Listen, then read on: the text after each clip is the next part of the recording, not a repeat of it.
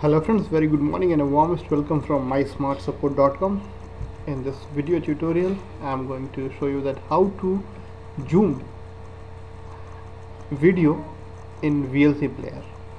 So this is a very easy task.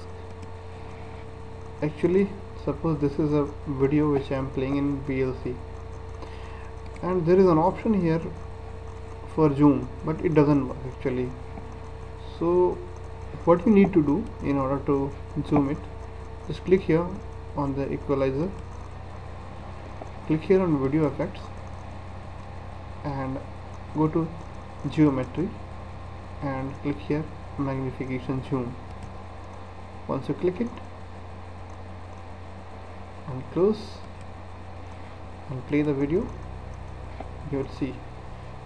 This is it has been zoomed. If you want to whatever area you want to zoom this will be zoomed by here. You need to rotate this. Okay. This person where you will take this person it will zoom that area. Okay. Let's see. Let's see. Right?